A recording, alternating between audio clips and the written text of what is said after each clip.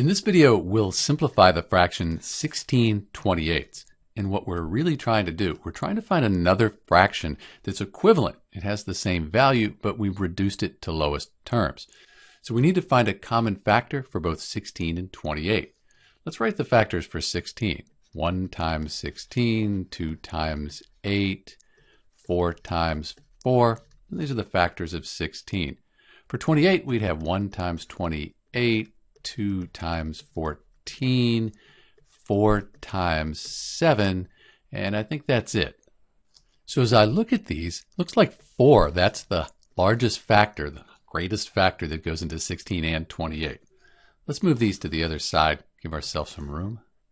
So we're going to divide 16 by 4. That gives us 4. 4 times 4 is 16. And we'll divide 28 by 4, which gives us 7. And that means that we've simplified the fraction 16 28ths down to 4 sevenths.